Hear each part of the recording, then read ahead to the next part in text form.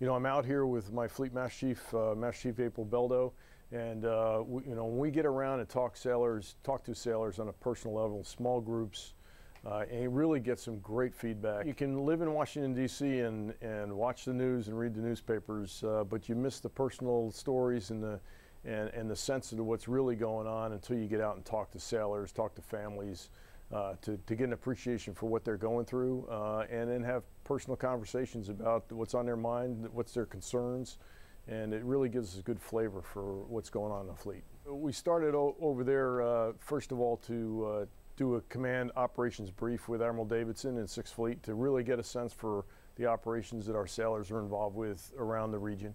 Uh, and that was very helpful to me to see all the activity that's going on in this part of the world. Well, in the junior enlisted side, we spent a lot of time talking about the, the new advancement profiles, uh, the changes to the final multiple score that we're making starting this September cycle, uh, explaining to them what went behind those decisions, and uh, to try to let them know that uh, that uh, pass not advanced scoring uh, is not being thrown out. It's going to last for the next five cycles.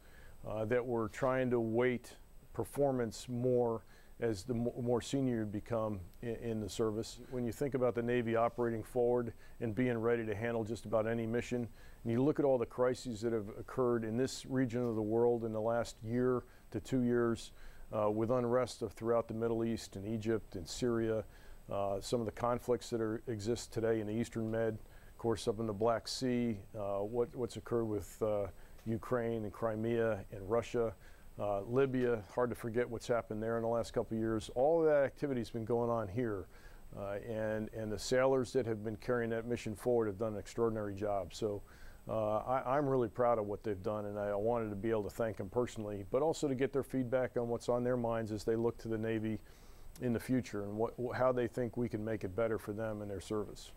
Now, the biggest challenge, I think, is not just for us in the Navy, but for all the services, and that's after 13 years of war uh, and, and those conflicts continue in many different forms. We're reading about it today.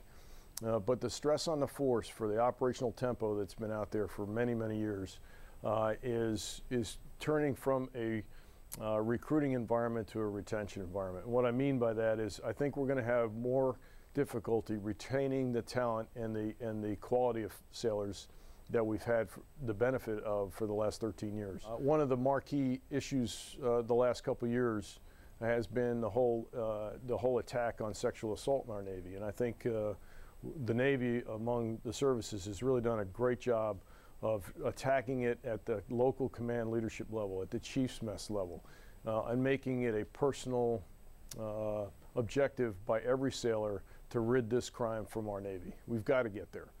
And uh, I think we've done a, a, good job, but we've still got a ways to go. Uh, the training's got to improve. We've got to take what we learned at boot camp and applied those lessons in bystander intervention and taken to the fleet to continue that, that, uh, that continuum of training, uh, ridding the lower end, the left side of the kill chain, as we like to say, uh, of sexual harassment. I think those destructive behaviors, if we get at those, they lead to better behaviors in the fleet. We don't ever get to the right side of sexual assault.